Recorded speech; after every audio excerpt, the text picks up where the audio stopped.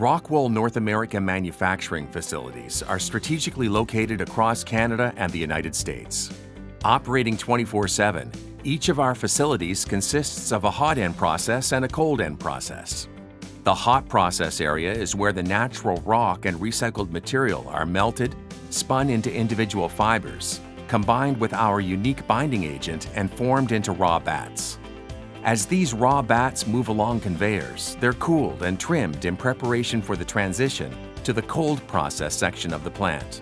In the cold process section, the raw batts are cut, trimmed, and compressed to meet the exact specifications for the insulation product being produced.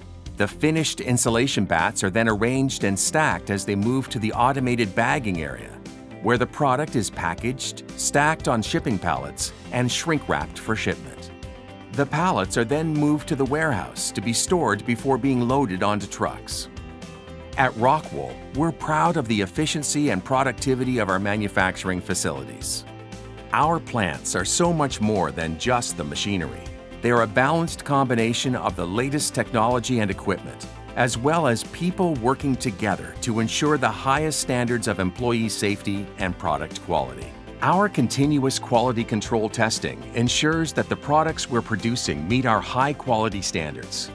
State of the art equipment, the latest technology, and a commitment to safety.